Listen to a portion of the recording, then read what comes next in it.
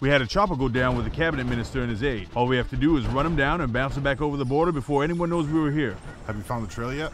Billy's on it. Those men were skinned alive. What the hell are we doing here? I had orders to bring in a team to crack those bastards. Billy! Get us out of this hole. The only way out of here is through the valley.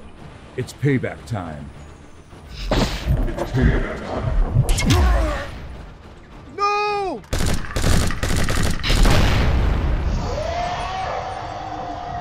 Ah!